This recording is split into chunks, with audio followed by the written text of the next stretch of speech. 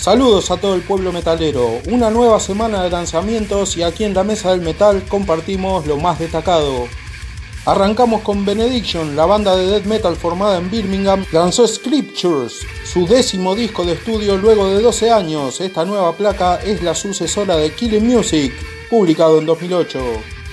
Del Reino Unido nos vamos a Boston para hablar de Lord Almighty. La banda de black metal progresivo sacó a la luz su segundo larga duración llamado Wither. Seguimos en Estados Unidos y nos vamos a Nueva York para anunciar que luego de 13 EPs la banda de Sludge Doom False Gods debutó con su primer larga duración que lleva por nombre No Symmetry Only Disillusion.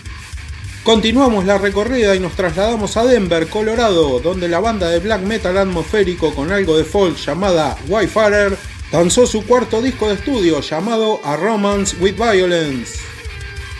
Finalizamos el repaso con la publicación del tercer disco de estudio de Spirit Adrift, en esta oportunidad, el proyecto formado por Nate Garrett en Arizona publicó el Night in Eternity,